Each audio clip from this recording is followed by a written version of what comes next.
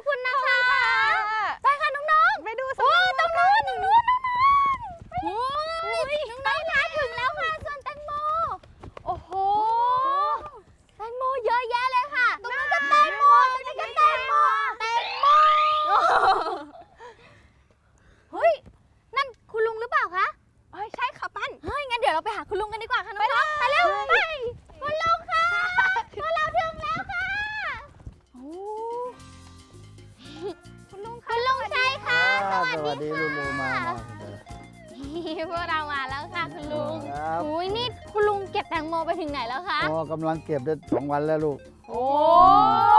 เมื่อวานคุณลุงก็มาเก็บแล้วเมื่อวานก็มาเก็บ คุณลุงคะแล้วนี่ปลูกแตงโมไว้นานหรือยังนะคะ ก็อายุมันก็70วัน น้องๆ คะแล้วเห็นแตงโมแล้วเป็นไงบ้างเหมือนที่เราจินตนาการไว้ไหมคะไม่อ้าวไม่เหมือนอ่าเหมือนเหมือนยังไงเอ่ยต้นเตี้ยๆหรือเปล่าต้นเตี้ยต้นเตี้ยๆนะคะ อื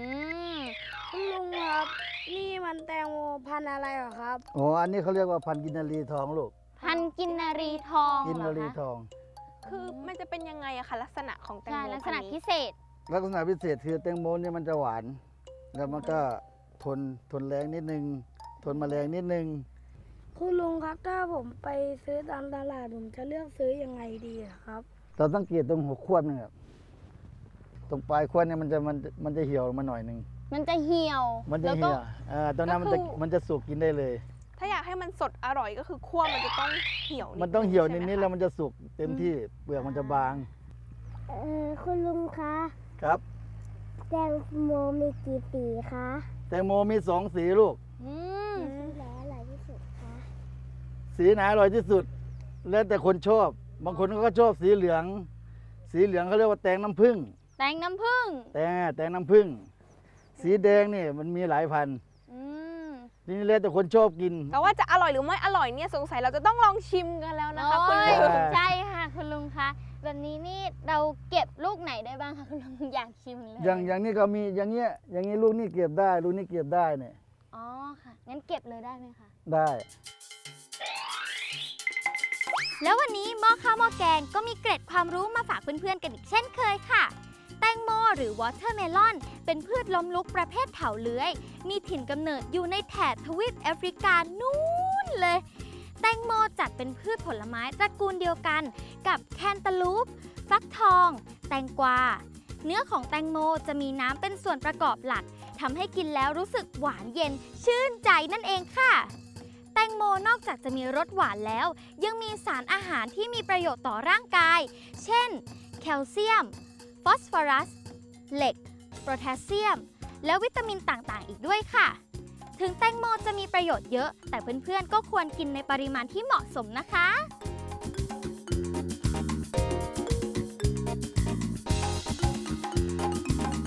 อันนี้กินแบบลูกทุ่งเนาะไม่ไม่ต้องใช้มีด โอ้ยคุณลุงจริงๆเหรอคะ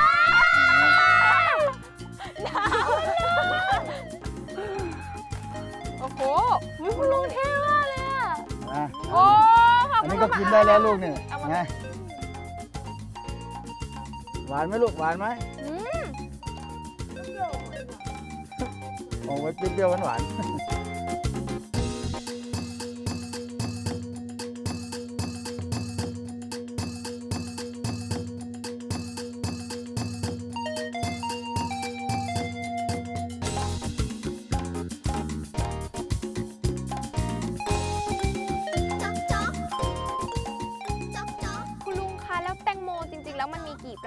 คะมีที่เราสามกิประเภทลูกอ่ามีประเภทที่หนึ่งกับประเภทที่เรากินอยู่ กินเนื้อ นี่ก็คือเนื้อเยอะๆแบบนี้นะเนื้อคะเยอะๆประเภทที่สองก็สำหรับแตงโมใช้เมล็ดทำเมกะจีอันนั้นเนื้อจะไม่อร่อย เนื้อมันจะไม่หวาน ค่ะ ก็คือเขาจะเอาแต่เม็ดเอาแต่เมล็ดมัน แล้วประเภทที่สามประเภทแตงโมไร้เม็ด ค่ะ แต่แตงโมไร้เม็ดเขตนี้เขาจะไม่นิยมปลูกเพราะว่ามันใช้ต้นทุนเยอะมันทำยาก ส่วนแตงโมนี่ต้องปลูกในอากาศแบบไหนอะคะ คือมันปลูกได้ทั่วอากาศถ้ามันมีน้ำอะ อ๋อต้องการน้ำเยอะต้องการใช่ไหมน้ำคะเยอะมันใช้น้ำเยอะต้องต้องมีน้ำแล้วต้องเป็นดินแบบไหนอะคะดินทรายล้วนดีที่สุด คุณลุงคะแล้วนอกจากแตงโมจะเอามากินเล่นๆแบบนี้นะคะ เป็นผลไม้แล้วก็เอาไปปั่นเป็นน้ำยังเอาไปทำอะไรได้อีกอะคะก็ไปผสมทำข้าวเกรียบข้าวเกรียบกุ้งเขาเขาเก็บใส่น้ำแตงโมด้วยเหรอคะข้าวเกรียบออเขาเอาเอาเนื้อมันแล้วก็น้ำไปปั่นผสมทำเป็นมาทำข้าวเกรียบได้เหรอคะ น้องๆเคยกินกันไหมคะ ไม่เคย ไม่เคยอ่าไม่เคยกินเดี๋ยวเดี๋ยวจะพาไปดูโอ้ยมีที่ทำอยู่เดี๋ยวจะพาค่ะไปดู แต่ว่าก่อนที่จะพาไปดูนี่คุณลุงมีอะไรให้เราช่วยไหมคะ ใช่ค่ะ เห็นก็คุณลุงตอนบอกนี้เก็บมาสองวัน ช่วยเก็บแตงไหมล่ะ อ้าวได้ได้เลยเลยช่วยค่ะเก็บงั้นเดี๋ยวเราแตงโมช่วยคุณลุงก่อนเติเรามค่อยพไปลังแล้วเนาะอ๋อพร้อมไหมคะน้องๆ พร้อม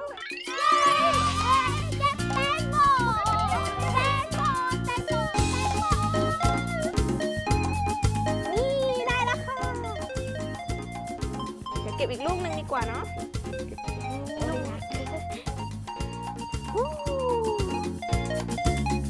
น่าหลุดใจแล้ว นี่ครับน่ากินไหมครับโอ้เฟียสต้าตรงนี้เยอะแยะเลยค่ะ ดูสิ มีข้างหน้าอีก โอ้แต่ว่าเราเก็บไปสองลูกแล้วกันเนาะอ้าวคุณลุงเด็ดไว้ให้เราแล้วด้วยค่ะเพื่อนๆก็เก็บไปเลยแล้วกันฮึบยกไหวไหม ไปค่ะ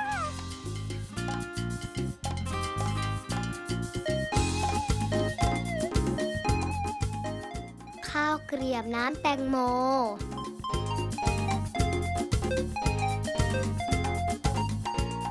ส่วนผสม แตงโม แป้งมัน เกลือ น้ำตาลทราย และน้ำมันสำหรับทอดค่ะ ค่ะ ตอนนี้เราก็ได้แตงโมมาแล้วนะคะ ใช่ค่ะลูกใหญ่มาก สวัสดีค่ะ สวัสดีค่ะ น้องๆ คะและนี่ก็คือคุณป้าเที่ยงนะคะ ผู้ที่จะมาสอนพวกเราทำข้าวเกรียบน้ำแตงโมนั่นเองค่ะ อย่างแรกนี่คือเราทาค่ะนแตงโม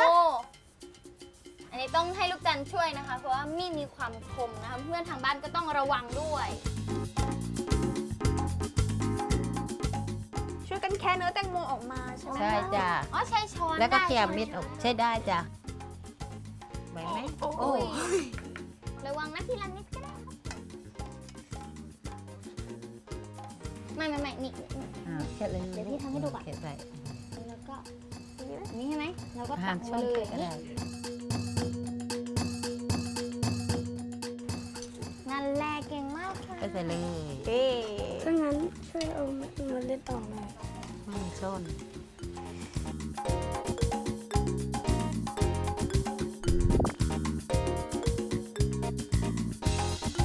คุณป้าคะใช้ผลไม้อย่างอื่นทำข้าวเกรี๊ยวได้ไหมคะทำได้จ้ะ ใช้อะไรได้บ้างคะใช้มันเทศ ฟักทอง ไอ้ดอกอัญชันน่ะจ้ะพวกดอกอัญชันก็ทำได้ แล้วข้าวเกรียบแตงโมเรานี่มันจะหวานแตงโมนี่ใช่ส่วนผสมก็ไม่มากแค่ แป้งโลนึงแตงโมโลนึงป้าครับทจ้ะำแล้วน้ำที่เหลือพวกเนี้ยเหรอครับ ที่ซื้อนี่เทใส่ลงไปเลย เอาเอาเม็ดออกหน่อยก็ดีนะครับคลิปเม็ดออกก็ลูกนี่เราก็ทำแตงโมเสร็จเรียบร้อยแล้วนะคะ ต่อไปเอาเอาไปปั่นจ้ะ เอาไปเอาไปปั่ปั่นนจ้ะไปปั่นเครื่อง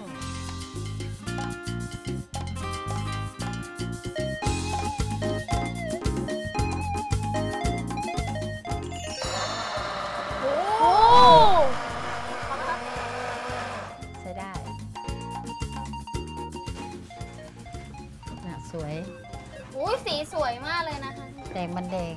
แค่นี้เราก็จะมีน้ำแตงโมเอาไว้กินได้แล้ว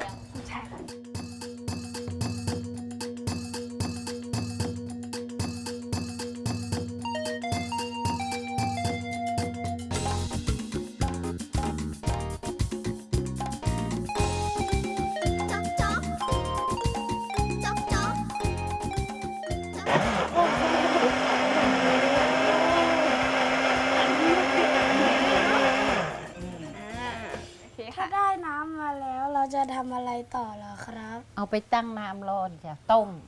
เอาให้น้ำมันแตงโมเดือดไปพอประมาณแล้วก็มาขยำแป้ง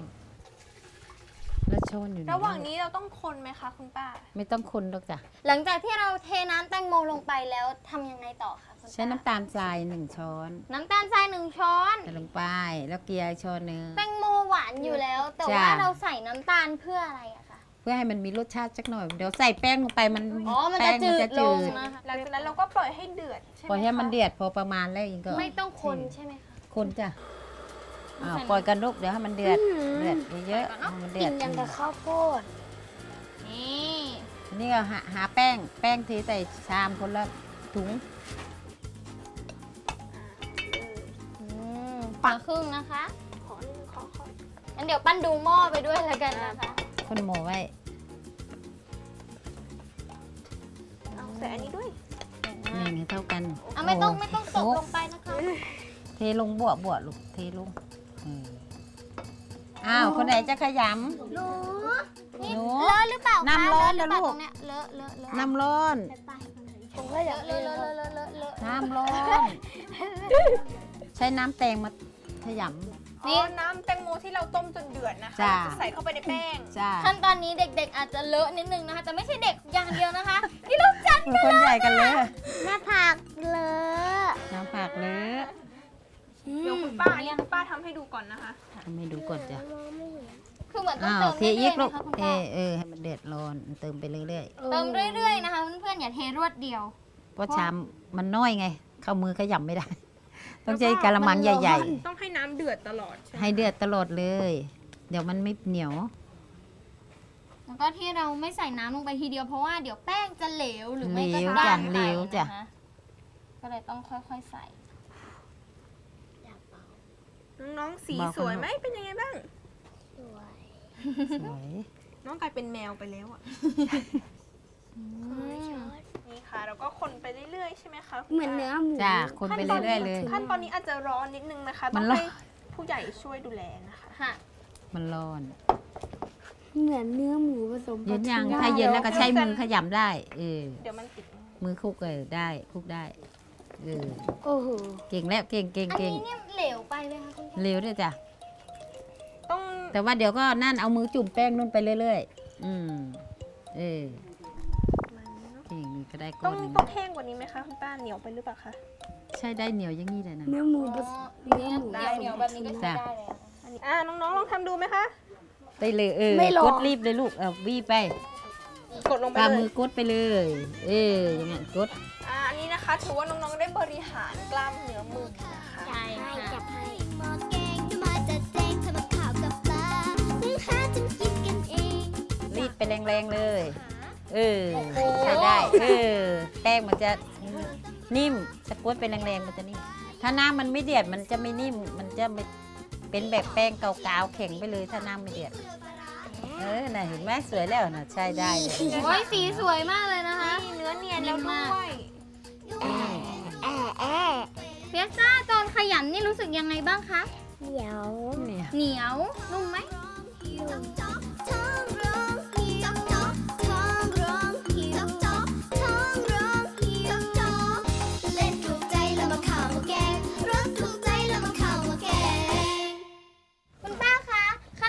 ตอนต่อไปต้องทำยังไงต่อคะเมื่อได้ก็แป้งแล้วได้แป้งแล้วก็ครึ่งจากครึ่งให้มันเป็นลูกกลมๆเนี่ยใช้ใบตองพัใช้นไม่ต้องห่อไว้เหรอคะใบตองห่อนอกจากการใช้ใบตองห่อใช้พลาสติกห่อได้ไหมคะ ไม่ได้จ้ะพลาสติกเนี่ยมันห่อแล้วมันป้าทดลองแล้ว ไม่ได้ไม่ได้เลย ไม่ซุกอ๋อไได้มันก็เป็นแป้งอย่างนี้เลยจับมาถั่วมาทายอ่าทุบเลยลูกทุบอีกเออทุบ มันมัดผมนี่นะผู้หทุญิบงก็อีกเก่งรอบหนึจ้ะงนะคะเอออ่าใส่เข้าไปมัดไม่ได้เลยลูกนี่แบบนี้แป้นเปิดฝาหม้อได้เลยไหมคะคุณป้าได้จ้ะนี่ว้าวใส่เลยกลัวกลัวซื้อเลยก็เดียวปิดเลยนะคะจ้าปิดเลยนี่ค่ะ ตอนนี้เราก็นึ่งมาหนึ่งชั่วโมงแล้วนะคะค่ะงั้นเปิดได้เลยใช่ไหมคะใช่เลยอะ หนึ่งสองสามเอโอ้ออุ้ยมันสุพกองแล้วค่ะ นี่มันหมูยอนี่ ไม่ใช่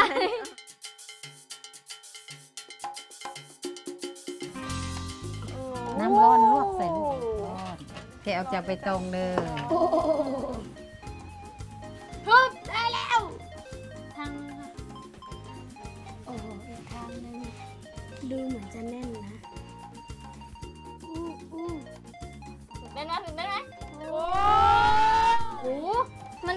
นแบบนี้เลยเหรอคะคุณป้า จ้า ตอนนี้คือมันยังร้อนอยู่นะคะ คุณจ้าป้า ยังร้อนอยู่ เราต้องเอาไป ต้องปล่อยให้มันเย็นก่อนเอาไปแช่ตู้เย็นต่อ อ๋อ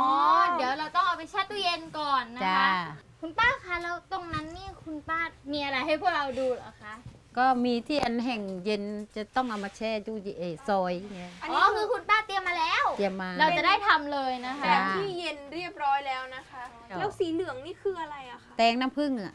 อ๋ออ๋อแตงโมแตงใส่น้ำผึ้งเดี๋ยวเราให้คุณป้าลองสาธิตให้ดูนี่ยังเหนียวะคะเนาะเนี่ยนี่นี่เราจะได้เป็นแผ่นแบบนี้ใช่ไหมคะคุณป้าใช่จ้ะปั้นขอเราดูจะนิเป็ดนนึงแผ่ค่ะนคุณป้าค่ะนี่จะเป็นแผ่นกินแบได้บนี้นะคะเพื่อนกินๆได้เหรออ่าแต่ว่าเรายังต้องเอาไปตาก อันนี้คือตัวแป้งที่คุณป้าเอาไปแช่ตู้เย็นแล้วนะคะ ก็จะจ้ะได้เนื้อแบบนี้ก็จะได้คือเนื้อหั่นแบบได้นี้นะคะ มันจะไม่เละหมูแดดมันจะไม่แข็งไงถ้าว่า ถ้าแข็งเกินไปก็ฝานไม่ได้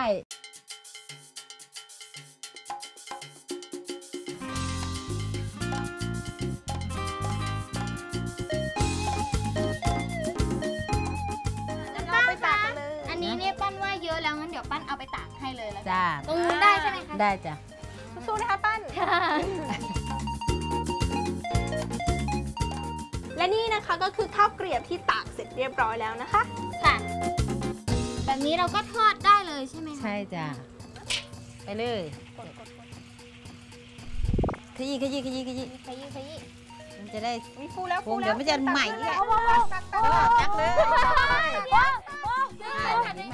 ต้องทอดคือทอดแตงโมต้องมือไว นี่นะคะ อันนี้ต้องให้คุณป้าช่วยๆนะคะมาเพราะมาว่ามาก็เลยดูเพราะว่ามันจะไหม้ง่ายมากนะคะไฟมันแรงไงอ๋อพอเริ่มฟูโอ้เดี๋ยวเอาใหม่นี่ไฟมัอันแรนี้งก็คือสีสวยๆนะคะ ทอดเสร็จแล้วน่ากินไหมคะน่ากิน อันนี้ต้องระวังเรื่องความร้อนนะคะเพราะว่าน้ำมันร้อนมาก ใช่ร้อนมาก ใช่เดี๋ยวต้องไว และอีกอย่างก็คือต้องทอดไอวเนี้ยต้องไว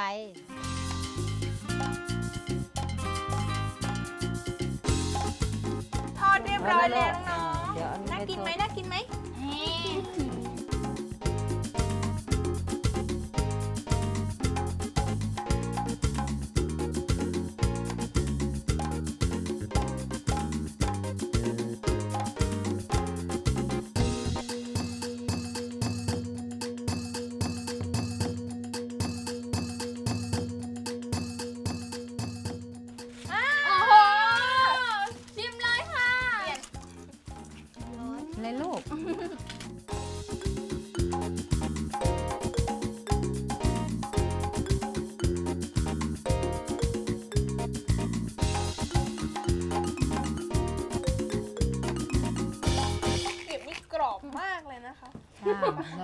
ด้วยเคี่ยวดังอาจเกลีจะยดเพราะเราแกะเพิ่งทอดเมื่อตะกี้ด้วยนะคะจ้าแบบมันทอดออกมาใหม่นั่นว่ามันจะมีกลิ่นแตงโมนะคะ แล้วก็จะมีๆไม่กินแตงโมจ้ะรสชาติหวานหวานๆเค็มใช่ไปค่ะก่อนๆกรอบรสชาติจะไม่แบบไม่รสจัดมากนะคะเกือบพอกิดีนพอดีกินเพลินเป็นไงครับ อร่อยมากเลยครับเคี้ยวแล้วมีเสียงไงบ้างกรุบกรับกรับกรุบกรุบกับกับกรุบนะแล้วโฟกัสล่ะคะเป็นไงคะห อมแตงโมกรอบอร่อยดีค่ะ อืมค่ะ อืมแล้วน้องพิสต้าล่ะคะ อร่อยหวานหวานอืมชอบไหมคะ ชอบค่ะ แล้ววันนี้น้องๆ ได้มาร่วมสนุกกับพี่ๆ เป็นยังไงบ้างคะ ได้เรียนรู้อะไรบ้าง ก็แตงโมมีกี่พัน อ๋อแตงโมมีกี่พันแตงโมมีกี่พัน มีกี่สีใช่ไหมคะ จะได้เรียนรู้อะไรอีก ก็เรื่องวิธีทำ ข้าวเกรี๊ยวอืมวิธีทำข้าวเกลียบสนุกไหมคะ สนุกสนุกอะมาอีกไหมมาอีกไหมน้องไม่แน่ใจ สนุกตรงไหนคะ ตรงไหนหนูชอบตรงไหนที่สุด ตอนทำข้าวเกรี๊ยวตอนทำข้าวเกลียบพอน้องๆได้ลงมือทำเองเลยนะคะ ส่วนน้องฟองกี้เป็นไงครับ สนุกไหมสนุกครับ แล้วได้เรียนรู้อะไรบ้างครับ ได้เรียนรู้เรื่องการทำข้าวเกรี๊ยวแล้วก็ ได้กินข้าวเกรียบด้วยโอ้โหนี่ไม่ดูพ้นท้อง เรื่องกินจริงๆนะคะแล้วชอบตรงไหนที่สุดคะวันนี้เก็บแตงโมเก็บแตงโมอ้ใช่เห็นเก็บใหญ่เลยนะ ใช่ค่ะ น้องโฟกัสล่ะคะ ได้เรียนรู้วิธีการเก็บแตงโมค่ะ ค่ะ อ่าแล้วแล้วชอบตรงไหนที่สุดคะวันนี้ ก็การทำข้าวเกรียบค่ะ อืมเพราะว่าได้ของอร่อยแล้วก็สนุกด้วยใช่ไหมคะ ค่ะ อืมแต่ว่าข้าวเกรียบพวกเราเนี่ยจะอร่อยไม่ได้เลย ถ้าไม่มีคุณป้านะคะ ต้องขอบคุณคุณป้ามากๆเลยนะคะ จ้า ที่สอนพวกเราทำข้าวเกรียบเราไม่เคยเห็นที่ไหนเลยและที่สำคัญคืออร่อยมากๆนะคะ ขอบคุณนะคะคุณป้า ขอบคุณค่ะจ้าจ้าแล้วก็พี่ๆต้องขอบคุณน้องๆด้วยที่มาร่วมเรียนรู้กับพี่ๆในวันนี้ค่ะ ขอบคุณนะคะ ขอบคุณนะคะ ค่ะ ค่ะ แล้วสำหรับน้องๆคนไหนนะคะ ที่มีวัตถุดิบที่น่าสนใจ หรือว่าอยากจะมาร่วมเรียนรู้ ร่วมสนุกไปพร้อม ๆ กับพวกเรานะคะ ก็สามารถส่งข้อมูลหรือว่าเรื่องราวมาได้เลยค่ะ ไม่ว่าจะเป็นทางจดหมาย อีเมล หรือว่า Facebook Fanpage ก็ได้ค่ะ ส่วนวันนี้นะคะ เวลาหมดลงแล้วค่ะ พวกเราต้องขอลาไปก่อน สวัสดีค่ะบ๊ายบายโอ้โหใจเย็นๆนะ งหมดแล้ว พี่ขอโทษ